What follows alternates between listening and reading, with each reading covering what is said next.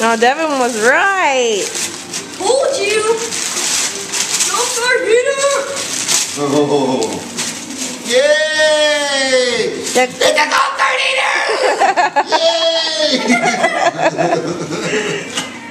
Yay! well, now you'll be warm. Oh, yay! You've only wanted one of those for three years. Yeah. About time Santa brought you one.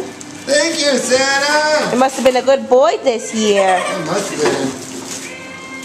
I must I can read. I can read. Look through those boxes.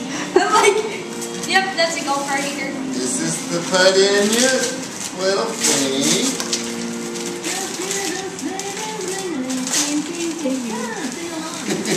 Merry Christmas! Merry Christmas.